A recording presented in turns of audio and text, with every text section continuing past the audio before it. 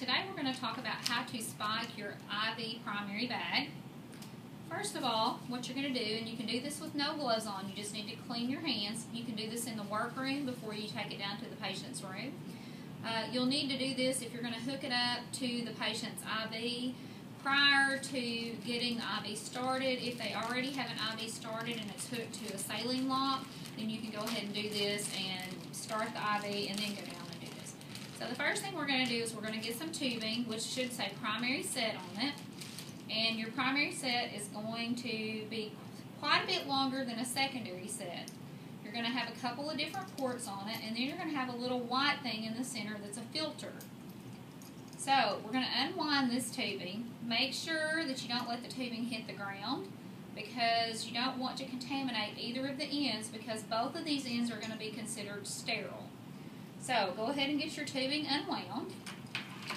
Then you're going to find a primary bag based on the doctor's orders. What we're going to use is normal saline. You're going to open this, take it out of the container that it's in. Check the bag by gently squeezing it to make sure that it doesn't have any holes in it. Look at the expiration date, and this one says March of 14.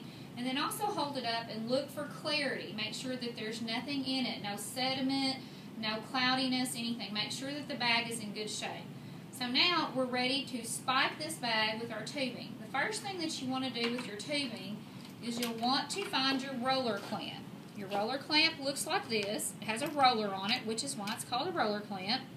And you want to close this. If you do not close your roller clamp when you spike this bag, all of your fluid is going to run out. So make sure you close the roller clamp.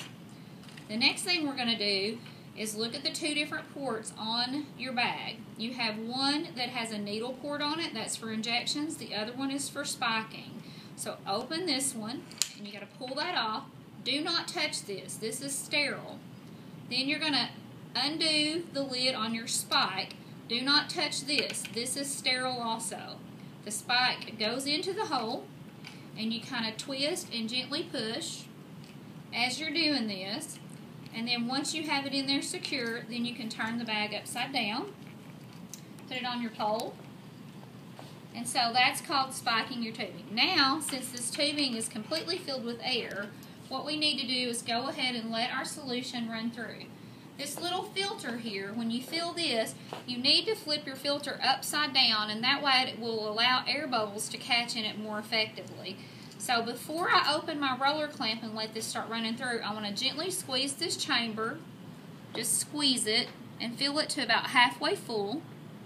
And then I want to flip this filter upside down and then gently open my roller clamp.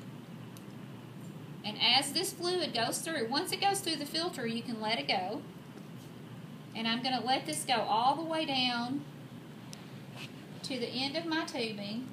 And once it gets there, you'll be able to see it, and you can see it in here. Just this, if I open this, will start to drip. But if you open it, make sure you don't contaminate it. If I open that, then this is going to drip.